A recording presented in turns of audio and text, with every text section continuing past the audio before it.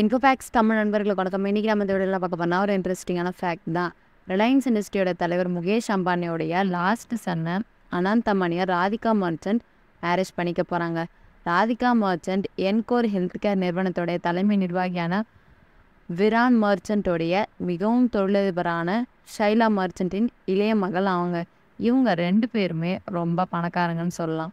Virat merchant வந்து எழுநூற்றம்பது கோடிக்கு சொந்தக்காரங்க. அம்பானிக்கு சொல்லவே வேணாம். நாற்பத்தி ரெண்டு பில்லியன் கோடி சொத்து இருக்கு இவங்களோட மேரேஜ்க்கு அம்பானி ஆயிரம் கோடி செலவு பண்ணியிருக்காங்க. ஆயிரத்தி இரநூறு செலிப்ரிட்டி வராங்க. யார் வராங்கன்னு தெரியல.